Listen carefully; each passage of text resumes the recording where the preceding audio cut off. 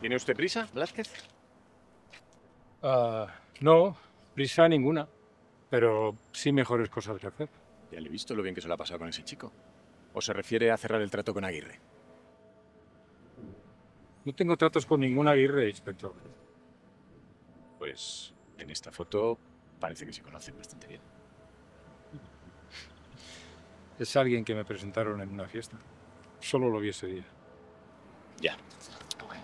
Estos son unos listados de teléfono desde su número de móvil y curiosamente los que están marcados pertenecen al señor Aguirre. ¿Sabe lo que es también muy curioso, inspector? Sorpréndame. Lo rápido que ha llegado usted a este puesto. En especial después del escándalo en su departamento hace unos años. No sé a qué se refiere. Yo creo que sí, inspector. Le propongo algo. Usted quiere Aguirre. Yo quiero mantenerme al margen de todo esto.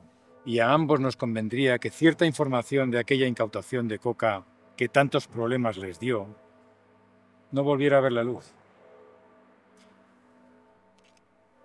¿Por qué no empezamos de cero? Me importa una mierda, Blázquez, lo que crees saber de mí. Te tengo cogido por los huevos. Lo sabes. No te vas a escapar. Esta vez no. No te olvides que yo también te tengo cogido por los huevos, Vega. Igual acabamos pasándonoslo bien. Ni en tus mejores sueños.